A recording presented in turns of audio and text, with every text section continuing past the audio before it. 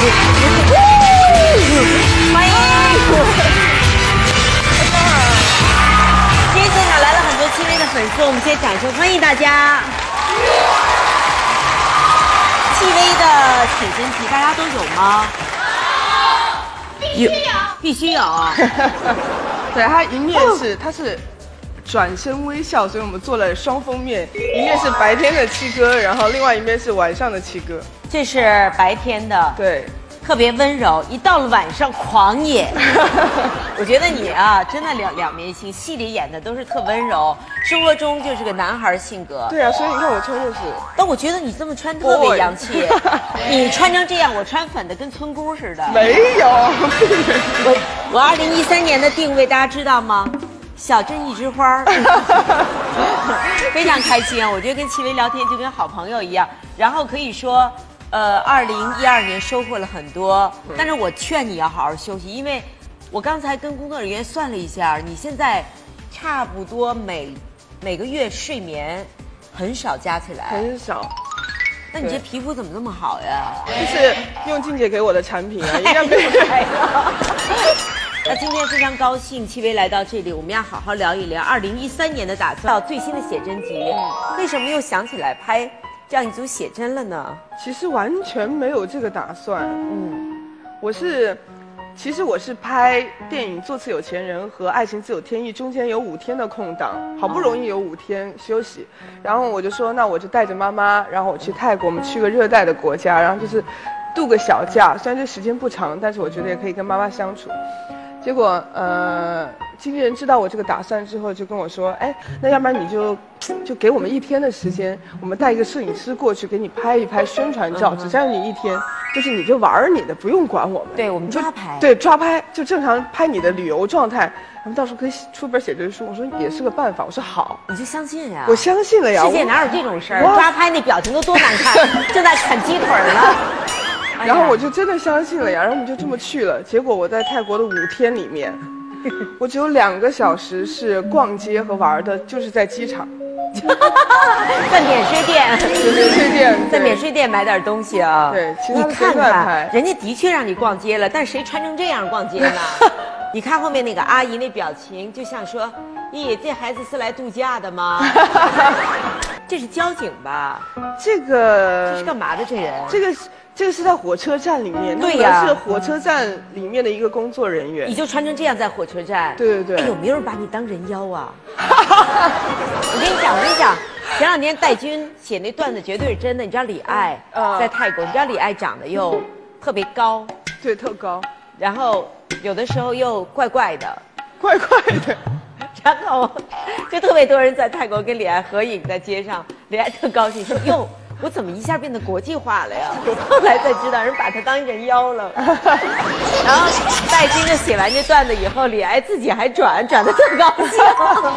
不是你看看你穿成这这样，我觉得这个真的是有可能，再加上我又是七哥，本来就是一个灵灵魂里雌雄同体的人，我觉得很有可能。这里面还加了一个小本本，嗯就是戚薇平常说的一些叫微语录啊，对随便找一个。我觉得你特别喜欢用三个句号连着一块儿句，啊，对对对，为什么？习惯我不知道哎。我们句号就一个，对吧？它是连着三个句号。对，微博上不是说嘛，就是喜欢用这个句号、句号、句号的这种人善良。而且我觉得你特别有意思，你特别喜欢问那个掉水里的事儿，你知道吗？碰到一个好为难的问题，如果你的情人和你讨厌的人一起掉到河里，你是选择 K 歌呢，还是开派对？他的那个，你们老看他微博对吗？你的微博是自己写的吗？全部都是自己写的。那你有没有发过让你觉得特别后悔的微博？歘发出去了，想揪揪不回来，已经说出去了。我还好，我特别怕吃后悔药这事儿。我觉得，嗯，要不然你就想好，要不然你就不说。而且微博是个特挑事儿的地方。那个，比如说微博下面有人如果说话不好听骂你，你是跟他对骂呢，还是把他拉入黑名单呢，还是只派一个粉丝去跟他对骂？三种选择。嗯，其实微博上面会被说，这是一定的。我觉得这点心理承受能力，我觉得我还是有。但是，呃，如果说你说的太过分的话，我心里会把你给骂一遍，但是也就算了。你可以说我，但我也可以说你啊。心里对，而且那个我有一个特别叛逆的心理，比如说人家说，其实我就是讨厌你，我就讨厌你，我我就招你讨厌，怎么样？明年七哥的戏还会继续上，我讨厌死你。所以你会在心里说一遍。对，心里会说一下，但是其实我觉得还挺好笑的，就是就觉得还 但我看你的粉丝会在那儿去说他会，我们我们家粉丝是非常捍卫我的，啊他们非常的威武。就虽然七哥已经很强大了，他们比我还要强大。是他们没有办法看到，就比如说有人说七哥哪里哪里不好，立马就过去狂轰滥炸，然后那个人就退缩了。但是你看他们对骂相当精彩，真的吗？但是他们真的有些时候会说到，比如说我心里面骂的，他们 他们跟我想的是一样的，但是但是有些小朋友就有些冲动了，就有些小孩可能年龄小，他可能就会呃，就是别人说一个什么，比如说轻微的或者是一些没有恶意的说，比如说我觉得特别呃呃，比如好比说他下不短这种。就觉得，就有些小孩也会，就是，就是突然之间就爆炸了。是刚才戚薇提醒大家啊，我觉得也是，就是说如果你喜欢你的偶像，其实比如说说什么下巴短呀、头发长啊、见识短啊，你真的不用太在意。但是你又发现，那有很多资深的人就跟我说啊，说，戚薇，就坐下来跟我深聊，说戚薇，你那个，如果你要想要拍戏、演电视啊、演电影儿，你这个下巴哈，你要去垫一垫，把这个嫌我下巴太短了，说这样修这样上镜会没有就不吃亏，就是可能会稍微好看一些嗯，然后我当时就觉得很纳闷儿，说因为的确人家也是真的是好意的跟你说，然后又是很资深的人跟你有这样一个建议，其实你对自己就会有质疑，说哎是不是真的是应该要去弄一下或者怎么弄，但是自己回过头来想一想，我觉得那弄了可能就不是我了，而且看了电视剧、电影也不是都是美的不行的天仙，那你。那你说，比如说丑的，你总得有人演吧？那我宁愿演那个也好啊。你也不丑啊，就是没下巴嘛。我是还是那句话，就是你经得起多少诋毁，就承得住多少赞美。也就是说，你得要有那个包容心去让别人说你不好，而且你要去接受他。说不定人家是以一个比较极致的方式去点醒你一些东西。柔美女人的外表下，戚薇的内心深处似乎还住着一个阳光坚强的大男孩。对，你这个开场白完全不像柔弱的小女生啊。对，每次就是，对，因为开始我们进到剧组的时候，我还说，因为剧组里面如果演员关系非常融洽，是件很幸福的事情。你们要在一起相处那么长时间，是很好玩的一件事情。所以上来我就，因为我也知道《爱情公寓》，我也会看。然后我对那个娄艺潇和那个陈赫，我都感觉非常好，所以我就其实见到他们不觉得很陌生。所以他说：“哎，七哥，七哥。”我说：“哎哎，那个，我说那我应该称呼你。”他说：“我那个贤哥。”我说：“哎，别。”贤妹，直接拍拍他肩膀，我说贤妹，他当场整个就五雷轰顶，说，我说七哥也不至于到妹吧？我说不不不，妹妹妹好好，一下关系就拉近了，对 一。下对对，他就觉得哇，然后迅速我们就是《爱情只有天意》的演员关系真的是好到变成一小团伙了。我们自己有一个微信的群，然后自己天天聊，就即便是不拍戏了，我们现在已经大概有好嗯半年快半快半年没就是没见了没有在一起了，没有见的那么频繁了。然后我们都会微信上互相问候啊，然后因为有在各个地方拍戏的啊，还有在马来西亚的人，对，就就天天都在微信上说，但是那种感觉就真的是像家人。我是他的七哥，他是我的贤弟。就是说没什么戏，基本上我跟他啊，啊，呃，其实我跟他在戏里面的关系很奇特没有我说生活中啊，生活中啊，有戏没戏？哦，这个没戏。对于一个急了的人，就逮谁都问有戏没戏。他是，他是一个很好的朋友，很好的哥们儿，就是他实在是在你旁边是会你给你带来无形中特别多快乐的人，但是就是因这样的，我也不知道为什么，就这样的人可能你把他想在一起，会觉得，嗯，就从来没有往那个方向想过。你是在骂他吧？没有，一个男人特别好，但是就是让女人没感觉。那个，那你喜欢哪种类型呢？坏男人，有点坏的。啊，可以这么说。我对那个戚薇应该有一些了解。戚薇比较喜欢复杂性人格的。我喜欢那种纯爷们儿的。东北人。对，就是比最起码比我爷们儿。如果比我还要那个，就是就不。我知道，就是他特别爷们儿的时候，你就啪就找到小女人的感觉了。对，人家不是有句话说嘛，女人在没有找到自己那个纯爷们儿的时候，自己只能。是个爷们儿，我觉得是内心的强大，他要能罩得住你。对，就一定要 hold 得住我，这是最起码的条件。特难，现在男人其实都特脆弱。所以就得要，所以啊，所以你看，我现在别急，别急，真的不能急。而且你们一逼他，他就找错了，找一大络腮胡，其实特小心眼的男的怎么办呢？绝对还是那句话，绝对不能为了结婚而结婚。各位女性们，真的。对，而且戚薇的性格不用担心，我觉得你是那种看到了肯定会主动的吧？不会啊，你不是爷们儿吗？不会，含蓄的爷们儿。哎，你要看到一特喜欢的，那你怎么办？怎么让他知道？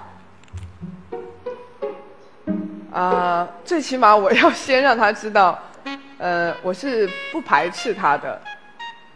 对，是，呃，会给他一个空间发展的，让对方，呃，让对方能能知道这个意愿。怎么能让你知道？发微信还是怎么？就比如说，这个人真的是 发微信，可以发微博，发微信，发微信哈。对，然后，呃，比如说，当然你要确定这个男生对你有好感。如果这个人完全对你没有感觉，你没有必要，我应该也不大会喜欢这样的吧。就可能正好两个人就是。有那个电流，然后嗯，需要一个他对你做一些，比如关爱啊、呵护的动作，你可能没有那么排斥，嗯，这点会让他觉得哦，我是可以试着去了解和接触这个人的，我可能会给这样一个感觉，嗯，让这个距离试着可以再近一点，再近一点。再近一点儿，哎，戚薇，你我看你前两天过完生日，你是射手还是天蝎呀？我是天蝎，还蛮天蝎的。他们很多人觉得天蝎女挺可怕的。天蝎是会给别人，你说，哎，你是什么星座啊？你说天蝎就，对对对对，尤其男的 特怕天蝎女。但其实我真的不是帮天蝎说话，我觉得，如果你有一个天蝎的朋友。我觉得真的是一件特别好的事情。是朋友很好啊。天蝎很认死理儿，就是呃，他是真的爱憎分明。但是呢，很多男的特别害怕天蝎女，因为天蝎女说，如果他不想跟你分手的时候，你想跟他分手，你这男的死定了。你死定了，而且天蝎记仇，就是在感情上，朋友上他没事儿，在感情上你伤害了他，你死定了。真的，他的碰为什么很多艺人都是天蝎？天蝎具有神秘性的人格，嗯，所以很多男的搞不定天蝎女。嗯，我觉得能搞定天蝎真的还是比较少。就天蝎在某种程度上性格上还比较强势，所以那个据我的分析，找一个射手男吧。现在正射手射手男对天蝎。呃，还行，一通常就是后面管前面嘛，射手座就能。射手座太乐呵了吧？就是你就得找个乐呵的。嘘寒问暖，都让人体会到了七哥与后宫之间深厚的情谊。觉得他私底下其实，你说他爷们儿，但是我觉得他其实是一个心很大、很能够包容别人，然后。嗯，也愿意真心的跟别人做朋友的一个人。如果我私下有一些问题啊，或者是我本人会有一些想法、一些小情绪，那有的时候呢，我就不管时间、不管地点的就会打给他。那不管他那个时候在干嘛，他一定都会接我的电话，然后帮我分享我的这些情绪。一起去未来的。后宫成员是吧？对对对，我很深爱的一个孩子。你就跟这帮人混吧，你看看人家都有我真的，我怎么办呢？我就是爱美女啊！我这但是美女不爱你啊！爱呀！你看看他们每个人都，这个女孩你知道，一谈恋爱就都心思分给你的就少了。那倒是真的。是是。怎么办呢？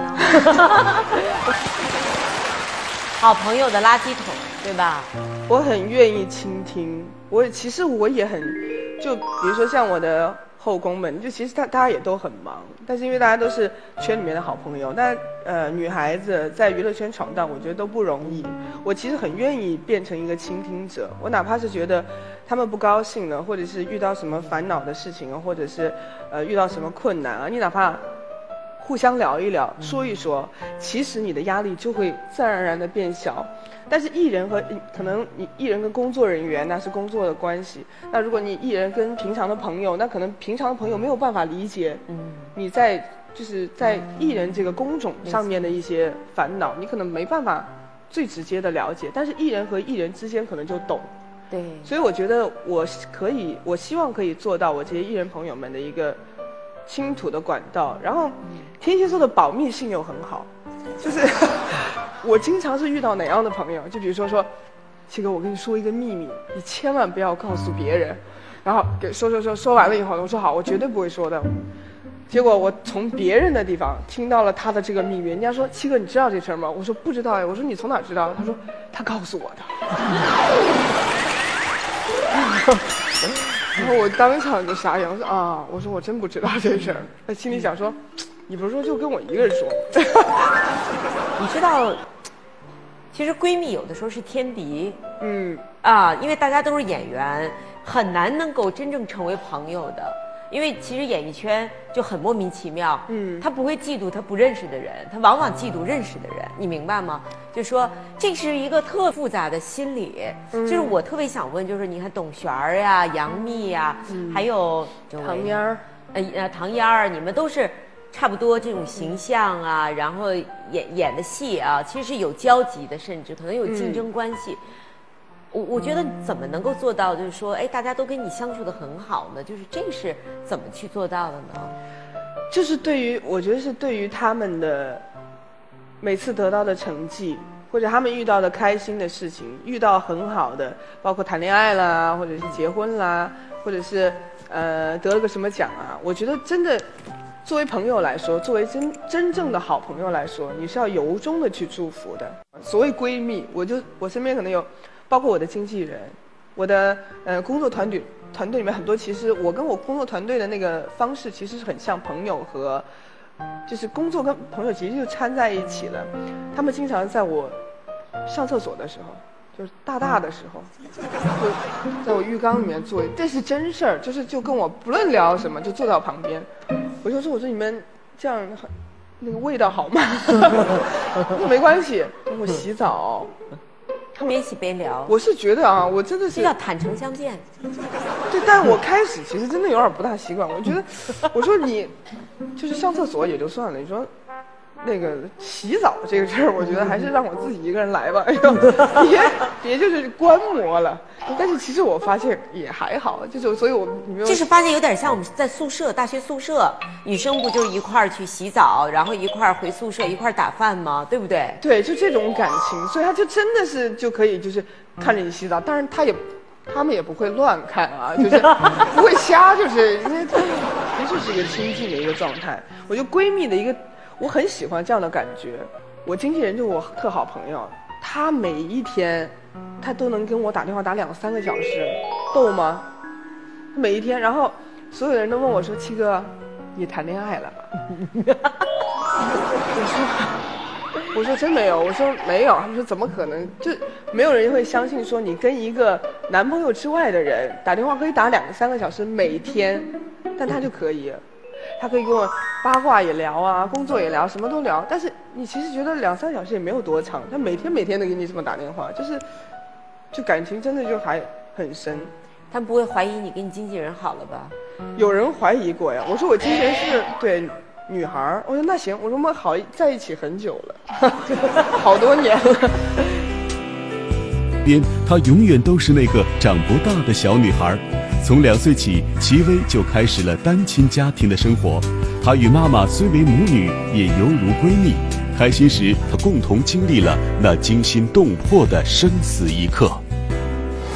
其实听那个你的同事说，这人，你看，你其实已经出来工作了，然后在汶川地震的时候，嗯他们跟我们说，你跟妈妈都是在成都啊对，那我觉得特别神这件事儿啊，虽然成都没有造成我什么伤就回去两，天，太神了，但是你们就那一时刻在一起啊，在一起，在一起。就那个时候，我是，呃，哦，那个事情对我，呃，触动非常大。我觉得也对我，就人生的启迪也很大。就是我当时记得五幺二那天，我就在家里面看电视，然后我妈就在门口站着等我说，因为我们可能要去一个她同学家里面串个门，好不容易回来一次，然后就说，哎，那那个就说你你你看的怎么样了？我说还有十分钟吧，你等我一下。她说好。然后站那等，还就还有十分钟了，然后就那一刹那，我就感觉我的这个椅子，就是我们家那个很大的一个沙发，砰一下被人踢了一下，我当时就想呀，大白天的中邪了，这个被子，就是狠劲儿，后面有人踹了一下你的板凳儿然后我就腾一下，我就觉得怎么回事儿？然后大概过了五秒，过了五秒之后，就整个房子。就那个整个很大型的建筑物在摇晃那个从来没经历过吧？以前没有，我根本就不知道，想象不到那是地震，就是很可怕。建筑物摇起来的声音，我相信很少人听过，就是整栋楼在摇的声音，什么声音？就是就钢筋铁骨什么都在动，咯吱嘎吱嘎吱这种声音，就是很很全世界在摇的感觉。然后我还是没有反应过来那是地震，好慢呐、我这这自然灾害这事儿我真没遇到过。然后我妈就说地震了，一一下就是地震了之后，地震的常识没有根深蒂固在这儿，所以说呢，我们就说那就躲，对吧？那躲在哪儿呢？躲在桌子底下。我就找我们家那个吃饭的桌子，躲在下面。我发现真的不行，绝对不行。为什么？地震你躲在桌子底下，你桌子首先你的整个肢体是没有办法嗯哼，伸直的，你的能动性就很差，你整个人就这样蜷在一起，是你是没有办法保护的，我就觉得很慌，所以没办法，我们就从桌子里面出来了。然后这个时候要去开门，门已经有一点打不开了，就是它摇的时候就有点变形了嘛，它那个防盗门就有点开不开了。我妈就用好大的劲儿把这个门给弄开了之后，然后我们就往下跑。我当时在家里面穿的，我也不怕，也不怕丢人，就是。就你知道，大家在家里面，就是你要五五月份又挺热的，在家里面，我就穿了个睡衣啊，内衣也没有穿。然后呢，你说我跑下去的时候还很顾忌形象，因为没有穿内衣嘛，然后衣服就这样拎着，拎着往下跑，一直往下跑，就全是人吧？就一直这么拎着。太狼狈了。对，但是真的，我当时觉得，哎，这不能，也不能太那个，就这么拎着。但是我跑到下面的时候，我就发现有很多男生中午休息的点儿嘛，有很多男孩穿着个三角裤就跑下来了。但是我当时就觉得，好，我当时觉得这个画面才很可怕，我当时就不觉得好笑哎，我当时觉得这个才是逃命，就真正的逃命是这样的，你什么都顾不到。那个手机、钱包，你根本想不到要去拿这种东西，完全没有，拎着个衣服就下来了，然后下来了之后，嗯、什么都没拿，然后还在还在晃，然后我妈我才真的意识到哦，原来地震是这样的，但是我当下其实没有觉得特别的害怕，那我只有一个一个想法，就是摇的当下我就觉得，真的就跟电影里演的一模一样，就是你真的你。生生命当中，就是你活了这么大，很好好多件重要的事情，真的是会在你脑子里面一下蹦出来一下，就可能你这个时候你才知道，你这辈子你很重要的事情到底是哪一些事情。它真的，我也我也形容不出来那个很奇妙的感觉，它就是大概最多两秒吧，但它可以闪过大概十几二十个画面，就对你重要的事情。他就马上立刻回回过一段，因为我觉得我快死了，我那个时候觉得我死定了。然后呢，但是我心里面有个很，就是我说还好，我跟我妈妈和外婆在一起，嗯，还好，我就算是死，可以跟他们死在一起，我觉得这是我对于我死来说是一件很幸运的事情。嗯，当时我就觉得，嗯，这样死了也好。嗯哦，今天妈妈特别通过节目组捎来一封信，看没有？真的吗？这不是红包，是一封信。因为我觉得妈妈的一些鼓励，其实对戚薇特别特别重要。你看，是妈妈写的字儿，对吧？没错吧？哎呀，微微最近好吗？天气凉了，一定要注意身体。妈咪好想你哦。自从你考上大学离开家，妈咪还是第一次写信给你。这些年独自在外吃了不少苦，一步一步走到今天，真的不容易。看着你为自己喜欢的职业努力工作，有了今天的成绩，妈妈很欣慰。这条路上虽然坎坷，你用你的努力和坚强证明了自己，证明了人生的价值。妈妈在你的微博里看你好多小白兔说，从你身上得到了很多的正能量，你就是我前进的动力。妈妈打心眼里高兴。这些是你不断给妈妈带来的惊喜，让妈妈无比的开心，一直沉醉在快乐之中。谢谢宝贝女儿，谢谢这辈子妈妈最幸运的就是拥有这个智慧、有理想、又坚强、又孝顺、又懂事的可爱女儿。微微，你是妈妈一生的骄傲，是我们全家的骄傲，让妈妈好幸福、好甜蜜啊！妈妈爱你，爱你。家里你放心，姥姥我们都很好，你一定要好好照顾好自己，想你，妈妈。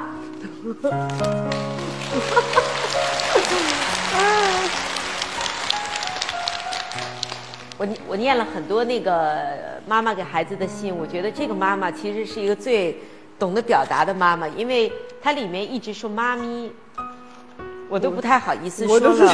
我都是这样叫他的，啊，我都是这样叫他的。对，我觉得你们两个人，你平时在家就妈咪，对啊，我打电话也是这样，所以人家特别羡慕我跟我妈之间的对话，就觉得反正特别近的感觉。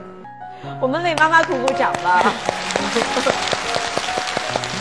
那你有什么要跟妈妈说的吗？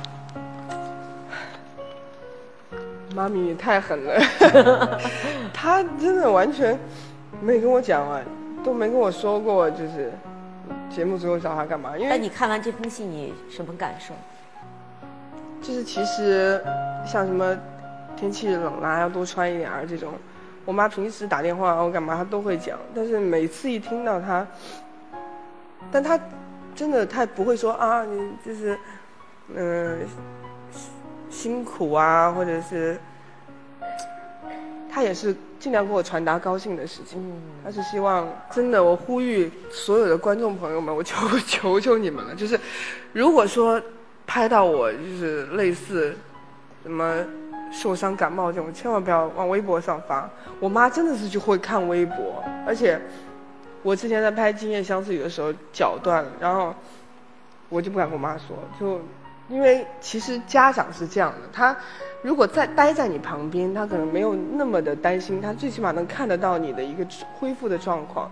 但是如果说离得远，他会更担心，他就摸不着你，他反而觉得他更就是担心，所以我就就是不敢给他知道，就是没办法。但是后来就是我脚都快好了，然后他给我打电话，他说你脚是不是折了？我说没有，我说就是就是稍微崴了一下，我说肯定是。然后我妈说是吗？她说我看到人家微博上面就拍到你都是坐在轮椅上，然后我就说，我说不是，就是就是很轻微的伤啊，就是没什么关系。她就很担心。因为齐薇从小就体质虚弱，妈妈带她跑遍了。我妈妈是跟离我最近的一个闺蜜。为什么你们两个人就是我看很多母女其实没有那么近，为什么你们两个会那么近呢？是这种生活环境还是什么样的经历呢？其实我是单亲家庭长大的，一直跟妈妈的呃生活在一起，所以我们两个女性相依相偎的那种，就是那个聚拢，就是那那个抓紧的这个力量，可能会很大。就他们多大你？你多大？他们他们那个那个离的婚呢？两岁的时候就跟就是就已经分开了。所以跟你爸爸也不来往。